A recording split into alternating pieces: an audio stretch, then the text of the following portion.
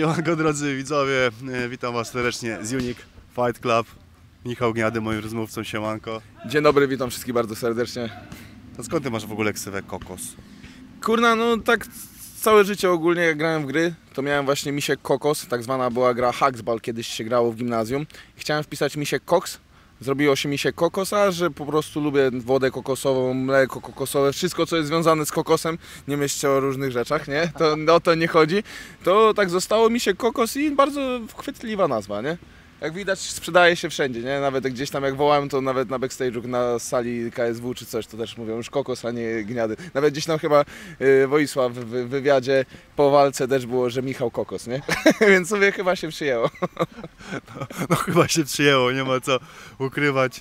W takim razie Michale Kokosie, KSW 99, Czeska Ostrawa, co ty na to? No co, jestem na tak, nie? Jak widać. No co, Wiktor Czerwiński, mocny stójkowicz, młody zawodnik z większym doświadczeniem ode mnie, bo tam widziałem też, że walki miał w, gdzieś tam na Mistrzostwach Europy, chyba w amatorskim MMA. W IMAF-ie zdobył brązowy medal chyba w 2001 roku, 2021 roku. Yy, widziałem też walki w Muay Thai, Stójkowicz z czes czeskich granic. Wiem, że gdzieś tam trenuje z chłopakami, z którymi też się znam. Dobra walka, sprawdzony już na pełnym dystansie, bo dał bardzo dobrą walkę z Kacprem Koziorzemskim. No ja jako patrząc na to, że ciężko znaleźć powiedzmy mniej doświadczonych chłopaków KSW, tak naprawdę jest jeszcze ten Kryty, co nowy wskoczył, yy, Dawid Kuczmarski. Mówię to, wziąłem, mówię Czechy, dobry termin, żeby nie być się na jednej gali z Damianem z racji, że wiadomo, przygotowania, zbijanie wagi, wszystko. Jeszcze mówię, chwilę potrzebujemy na to, żeby na jednej gali zawalczyć, no i czeka dobry bój, nie? Dobrze, dobry klub, teraz idealnie, klub stójkowy ze Stójkowiczem, więc idealnie zostanę przygotowany, dobrze się czuję, więc jestem na tak, czekamy jeszcze tylko 6 tygodni pokaże się na pewno w lepszej formie niż to było ostatnio. A to dopiero zobaczymy i ocenimy, nie, nie mów hop. E, Natomiast Michał, e, lokalizacja Ci odpowiada, ta czeska, czeska ziemia, e, gala poza granicami kraju, jak to wygląda z Twojej perspektywy? No ogólnie jestem bardzo zadowolony, że tak na początku swojej kariery mogę już zawalczyć poza granicami Polski, bo wiadomo jest to jakiś tam gdzieś prestiż na dużej gali, bo tam chyba z 10 tysięcy osób, jeżeli dobrze wiem, ma być na, na hali, to naprawdę spoko, nie jest to też daleko stąd. Trochę dla moich kibiców z Koszalina, z tych rewirów, no to jest daleko, no bo to 9 godzin drogi. Ale fajnie, fajnie pobić się za granicą. Nigdy nie byłem w sumie na takiej gali poza tam ostatnio w Paryżu, jak byłem na KSW, tak jako po prostu widz, a tak zobaczę to jako od strony tej medialnej, jak to wygląda w ogóle za granicami. No i myślę, że na plus, nie? Fajnie, blisko, przy okazji z Czech jakieś tam gdzieś plany po walce jest pojechać do Austrii, do Wiednia, więc idealnie bliziutko stamtąd. Więc jestem zadowolony, że to poza granicami i tak szybko mogę pokazać się nie tylko publice polskiej, jak też zagranicznej, gdzieś tam na arenie, a wiem, że czeska publika jest bardzo znana z dobrych ogólnie otoczki całej i że bardzo mocno interesują się MMA, więc można zdobyć sobie rzeszę fanów, dając dobrą, krwawą bitkę albo po prostu kończąc walkę szybko, nie? Więc żeby mnie zapamiętali, muszę pokazać się z dobrej strony. A sama ksywa nie wystarczy jednak, nie? E, Nawet nie wiem, jak po czesku jest kokos, więc może jakoś fajnie. Wiem, że po francusku jest chyba nude coco, z tego co mi tam Paulina Klimek mówiła, ale po czesku jeszcze nie wiem, więc może jakoś wymyślam fajną nazwę. Znając język czeski, to może, to może być dobre i chętnie to sprawdzę zaraz po wywiadzie, jak jest kokos po czesku. E, Wspomniałeś o kibicach, że mają daleko. Ile tych kibiców się e, planuje wybrać? Szczerze jeszcze nie wiem, ale myślę, że nie będzie tu duża rzesza z racji tego, że trzeba daleko pojechać, no ale mam nadzieję, że może tutaj chociaż chłopacy z, klubu przy, przyjadą, chętnie pomogą wesprzeć, pokibicują, a jak nie, to i tak, jak to po mnie wiadomo, lubię być przeciw... Cio! Jakie alimenty? Ważne, że wam muszę płacić za to, żeby tu trenować, nie? No, e, zawsze jestem przeciw, ja przeciw całej rzeszy kibiców, więc znowu zdarza się podobna sytuacja co z Jackiem, więc jestem na tak. Lubię uciszać dużą publikę. Wracając do Czerwińskiego, już e, troszeczkę nam nakreśliłeś e, naszym widzom e, jego sylwetkę, natomiast jakie wnioski wyciągnąłeś z tej walki z Kacprem Koziorzemskim? Bo to była długa, pełnodystansowa walka i tam można było dużo smaczków obejrzeć. Tak, ogólnie tak jak nawet z Kacprem akurat miałem przyjemność też potrenować, jak byłem na obozie z z Oktoposa Łódź. Też tam gdzieś o tym porozmawiałem, bo w tamtym okresie gdzieś tam już oscylowałem, że mogą być to Czechy, że mogę właśnie dostać jego z racji, że jest tamtejszym zawodnikiem. No jest dużo luk mimo młodego wieku, powiedzmy stójkowych, parterowych. Kacper bardzo dużo razy pokazał, że łatwo jest go obalić, bo tak naprawdę z tego co pamiętam to chyba 10 czy 12 obalin za, zaliczył. Bardzo dobrze wstaje, jest długi, niewygodny, mocno bije, ale z tego co tam widziałem, tak jak Kacpra gdzieś tam czysto nawet trafiał na szczękę, to nie był to aż tak bardzo mocno ważący cios, jak na przykład widać to u Oskara czy u Jacka, u moich wcześniejszych przeciwników. Oczywiście tego nie lekceważę, więc będę nastawiony na to, żeby się bronić. Ale chcemy zobaczyć po prostu w jakiej formie wyjdzie teraz, no bo tam to wiadomo był dystans, też inny styl jest Kacper niż ja, bo Kacper jednak jest zawodnikiem stójkowym, dużo poruszającym się na nogach, skaczącym, ma taki wy- wymęczający styl, że dużo kąsa, dużo kąsa, jakieś obrotówki, skoki, ja takich rzeczy raczej nie robię, a może zacznę? Jeszcze nie wiadomo, ale no jest dużo rzeczy, które można wyciągnąć z tych walk, bo tak jak widziałem na przykład z Dawidem Hoskiem, no to tam na przykład poddanie było, a w wcześniejszych walkach tych parteru jakoś mocno nie pokazał, poza tym, że po prostu z pełnej gardy bardzo dobrze wstaje, nie? A tak to po prostu robię swoje, to co mam przygotować, to co z trenerami z Unika przygotowujemy pod niego, pod danego przeciwnika, to co gdzieś tam też sam zauważyłem, co musiałem dopracować, po prostu błędy z ostatnich walk, to ciężko powiedzieć coś mocnego, ale no jest to dobry, utalentowany młody zawodnik, który na pewno będzie chciał mi urwać głowę jeszcze, zwłaszcza przy swojej publice, będzie chciał się pokazać z bardzo dobrej strony. Mam nadzieję, że po prostu damy dobrą walkę i kto wyjdzie wygrany, to już okaże się 19 października. Wspomniałeś o Jacku. y, y, Nie zdziwił się Sieksa na twój widok w Uniku?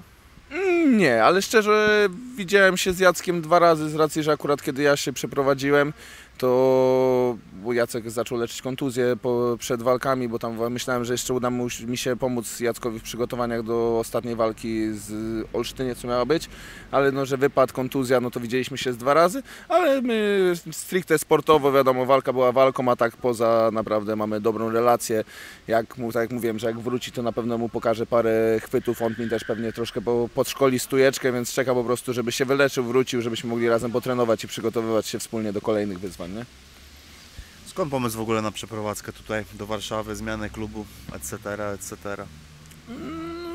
Wiele składników się na to złożyło po prostu i życie za, zawodowe i życie prywatne pokazało to, że po prostu czas zmienić kierunek, w, w którym muszę podążać razem po prostu z Damianem też byliśmy, że tak ujmę, od początku razem w karierze tej zawodowej, prowadziliśmy to razem, gdzieś tam mały rozłam powiedzmy w klubie po różnych rozmowach, no i stwierdziliśmy, że po prostu czas się przenieść, zacząć nowy etap w życiu.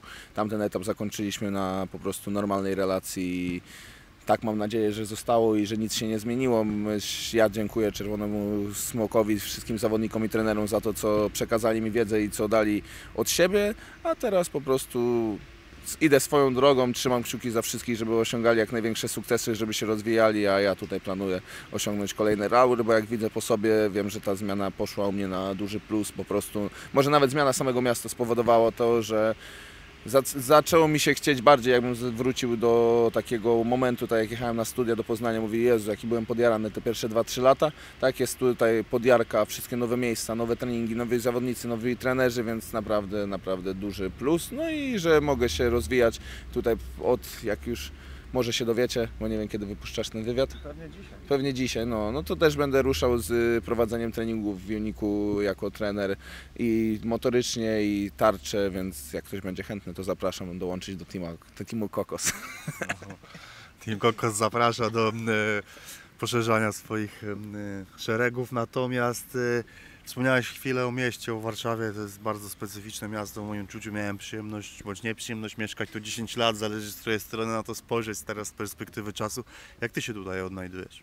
Jak na razie jest bardzo dobrze, dużo ludzi narzeka na ten przepych, dużo, dużo droższe. No akurat spojrzałem na to, że życie jest dużo droższe w Warszawie jednak niż w stosunku do Poznania, ale naprawdę dobrze się tu znajduje, fajna jest atmosfera, no bo klimat klubu też jest tak samo super jak było w Czerwony Smoku, że sobie chodziłem nad Maltą, nad spacerek, nad jeziorkiem, tutaj przyjeżdżam, jest lasek, kościółek, ring na zewnątrz, atmosfera w klubie jest naprawdę przyja- przyjazna, bardzo dobrze nas chłopacy przyjęli. No i rewiry, które mieszkamy z Damianem, dopiero poznajemy, mamy wszystko blisko do jeżdżenia na rowerkach, więc jest naprawdę, naprawdę spoko i zaak- zaakceptowałem to miasto jak na razie jako swoje, powiedzmy, drugi dom, zobaczymy jak długo tu pozostaniemy, a może już zostanie na stałe. Na razie są takie plany, że jesteśmy tu, zobaczymy co czas pokaże po prostu. A to miasto zaakceptowało Ciebie? Nie wiem, musisz zapytać warszawiaków, nie? Nie wiem, który tutaj jest najbardziej warszawski, ale nie będę pytał, bo jeszcze powiedzą, że nie. Żebym przyszedł ham i prostak z Poznania i siedzi teraz, no chociaż z Koszalina ogólnie jestem, ale tak już mówią, nie? Chamy z Poznania przyjechali, zajmują matę i muszą uważać jeszcze na nas, nie? Ale myślę, że chyba jest spoko. Z kim tu głównie trenujesz? Teraz y, w dużej mierze, tak jak kiedyś właśnie było, że bardzo dużo robiliśmy z Damianem przy okresie jego przygotowania, na końcówce też dalej to robię, ale w dużej mierze teraz Radek miał walkę, Albert miał walkę, to dużo im pomagałem. Łapałem się z nimi w parach, więc im przykładałem największą taką jakby sparring partnerów, dużo rund przerobionych z nimi, Albert, Radek, Robię też z chłopakami, tak jak z Dominikiem, tutaj jest Roki, chłopacy, którzy wchodzą w karierę dopiero zawodniczą, jest jeszcze Kacper, jeden, drugi Bartek, więc naprawdę jest dużo, dużo chłopaków, z którymi można porobić, no i wiadomo, treningi indywidualne z trenerem Kamilem, z trenerem Rafałem i też zawsze porady od trenera Bartka i trenera Roberta Jocza. Więc no jest duży, duży skład, nie, nie wybieram, po prostu raczej jest to, że wiem, że Radek ma walkę, to trener dzwoni, przyjdź, zrobisz sparingi, no to przyjeżdżam, robię i fajnie, bo jest to tak fajnie rozegrane, że zawsze gdzieś tam jest zainteresowanie, wiedzą, że ten ma walkę, ten potrzebny jest pod ten styl, ten potrzebny jest pod ten styl, więc każdy tutaj wspiera, nie ma takiego momentu, że przychodzisz i nie masz z kim robić, bo przyjdziesz z rana na 10.30, to masz naprawdę cały czas pełen skład, nie?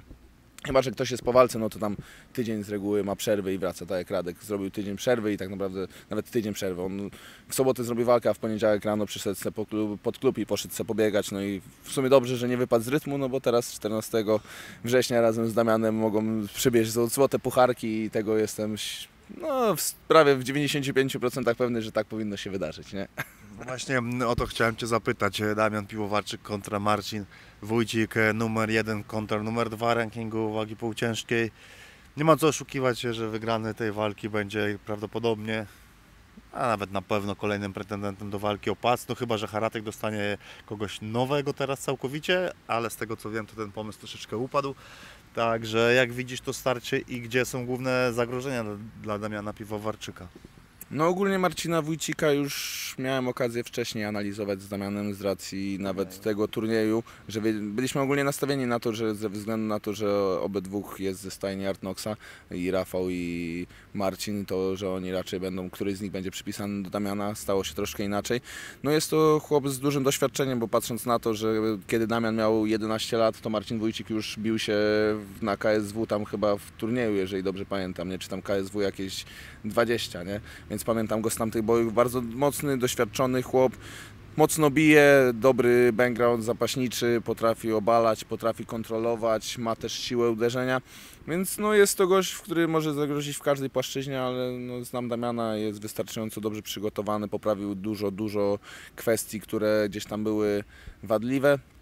Dodatkowo jest zdrowy cały, więc myślę, że ta walka będzie na pewno mocną walką. No wiadomo, jestem za Damianem. W 100% jestem pewny jego możliwości i tego, że w końcu odbierze to, co zostało mu zabrane w Gliwicach.